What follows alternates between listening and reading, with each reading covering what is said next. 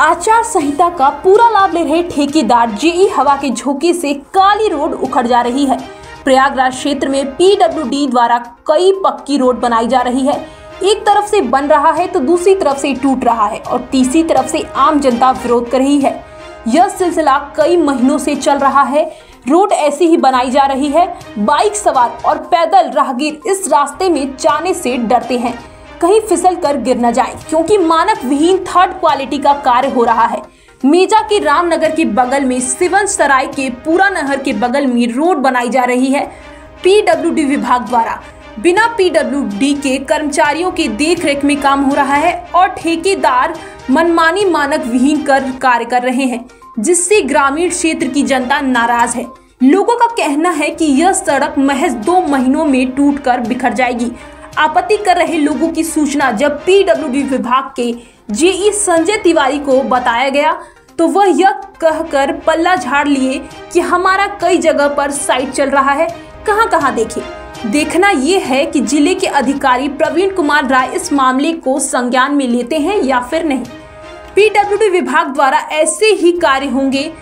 लोकसभा का चुनाव है और आचार संहिता भी लागू है। क्या सांसद प्रत्याशी इन्हीं रास्तों पर से चलकर ग्रामीण क्षेत्र की से जनता से मिलेंगे। आचार संहिता का पूरा का पूरा लाभ ठेकेदार और पीडब्ल्यूडी के जेई उठा रहे हैं।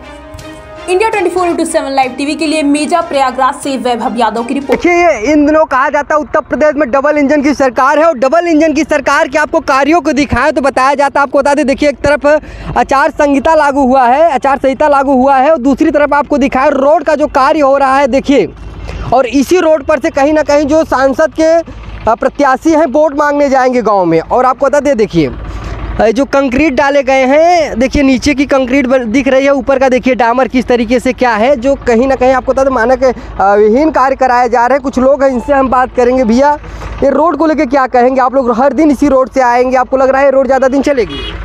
ये रोड ज़्यादा से ज़्यादा मई या जून तक चल पाएगी इससे ज़्यादा नहीं। चूँकि मानक हिसाब से न इसकी माप किया गया है न गहराई गिट्टी डाली गई है। अच्छा अच्छा और न इसके हिसाब से मोरन किया गया है बस ऐसे पेंट कर दे जैसे वो कहते हैं ना थूक पालिश। हम्म। तो थूक पालिश करके एक सरकार चला रही है। सरकार करोड़ों रुपए थूक पालिश के लिए लगा पालिश कर रही है। आप इसको देख लीजिए खुद ही गड्ढा करके देख लीजिए।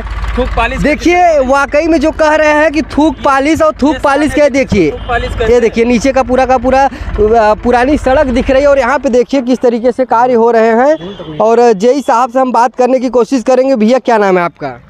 मोदी चाय वाले। मोदी चाय वाले जी आप ये बताइए जो आपके गाँव में के लिए एक रोड बन रही है क्या कहेंगे इस रोड ये दस दिन चले साहब। बस दस दिन? दस दिन बारिश हुआ की कहानी खत्म हुआ इसका? अभी सही बन रही गल- गलत बन रहा है? अब बन तो कहाँ सही बा? एकदम दस दिन जब हम बाइक से मार देते एकदम पूरा गिट्टी गिट्टी उखड़ जाए यानी रोड सही नहीं बन रही है हम्म, हम्म। रोड सही बननी चाहिए ना? रोड सही बननी चाहिए एकदम क्लीन बननी चाहिए खुदाई इसकी नहीं हुई है रोड पर की। अगर ब्रेक मारेगी तो पूरी सड़क उधर जाएगी। अच्छा आप लोग इसे बुलेट लेकर जा रहे हैं आपको डर नहीं लगता कि इस रास्ते से गिर जाएँगे आप?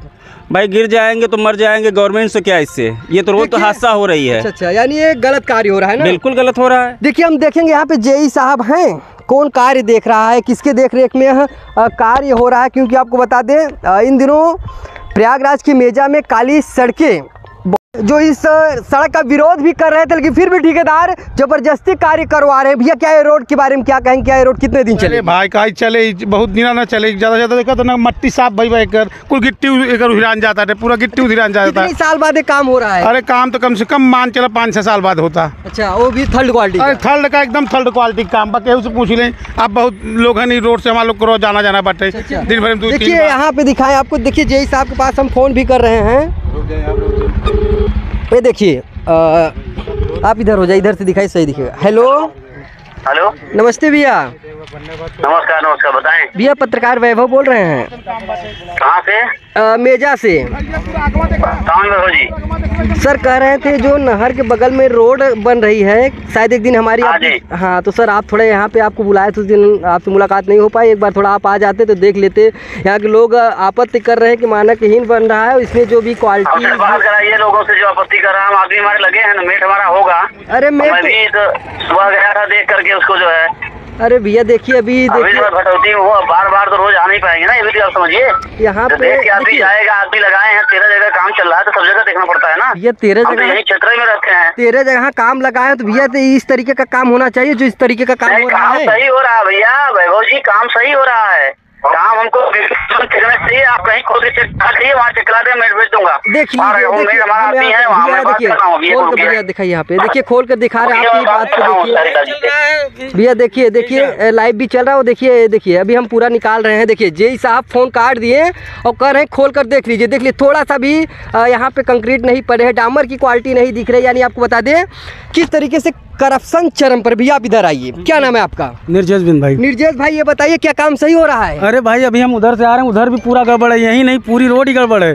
जहाँ से बनी है पूरा जैसे लग रहा है कि चटाई सरकार का पैसा गलत यूज़ हो रहा है कि नहीं? एकदम गलत यूज़ हो रहा है। क्या ये रोड सही मानक नहीं नहीं नहीं एकदम मानक के साथ आप देखिए सब मिट्टी हटनी चाहिए नहीं? इधर देखिए ये मिट्टी देखिए चौड़ाई इधर देखिए कितनी है उधर देखिए। चौड़ाई भी कम है दिखाइए दिखाइए महोदय जी। जेई साहब कह रहे हैं कि भैया सही रोड बन रहा है बताइए एक एक जो आपको कंक्रीट दिख रहा है ना मात्र एक एक कंक्रीट ऐसे लगाया गया है। इसका माना ये नहीं होता। उसके बाद आपको दिखा यहाँ पे कुछ कार्य हो रहा था। लोग चले गए। अभी देखिए, यहाँ पे मेड साहब थे। और मेड साहब भी चले गए हैं तो भैया क्या कहेंगे आप जिस तरीके से ये कार्य हो रहे हैं ऐसे कार्य होना चाहिए कि नहीं? बीजेपी सरकार केवल यही दिखावे का काम कर रही है लालीपाप देने का काम कर रही है क्योंकि अभी लोकसभा चुनाव पास में है तो उनको केवल दिखावे का काम कर रही है और सिर्फ़ लोगों को लालीपाप के हमने देखिए रोड बनवा दिया आकर के कहेंगे और क्योंकि एक महीने बाद चुनाव है पच्चीस मई को तो ये लोग देख रहे हैं कि यहाँ पे रोड बनवा देंगे तो कहने लग रहे हैं हमने रोड बनवा दिया लेकिन अब ये रोड कितने दिन चलेगी केवल एक महीने चुनाव के बाद यहाँ कोई दिखने वाला नहीं है। देखिए ज़िले के अधिकारी होते हैं प्रवीण Uh,